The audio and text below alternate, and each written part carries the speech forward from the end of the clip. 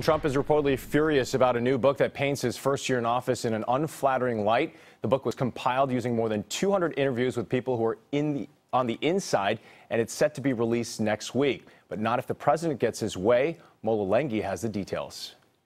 President Trump is trying to shut down a new book that has details about his first year in office. The president's lawyers sent a cease and desist letter to the publishers of Fire and Fury inside the Trump White House. The letter demands the publishers not release the book and that the author release a full and complete retraction along with an apology. Among the book's revelations is a quote from former White House strategist Steve Bannon, who called a June 2016 meeting Donald Trump Jr. arranged with a Russian lawyer as treasonous and unpatriotic.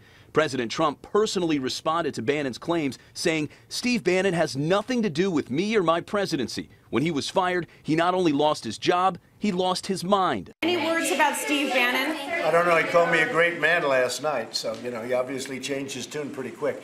The book's author released even more excerpts today, including news that President Trump encouraged allies to engage in partisan attacks against Robert Mueller, who's leading the investigation into collusion with Russia. Starting today, the White House says all staffers and guests will no longer be able to use any personal devices in the West Wing. Well, this is sort of closing the barn door after the horses over the over the hill. I mean, this book is out. The White House says the rules are for security purposes. Mola Lenghi, CBS News, the White House.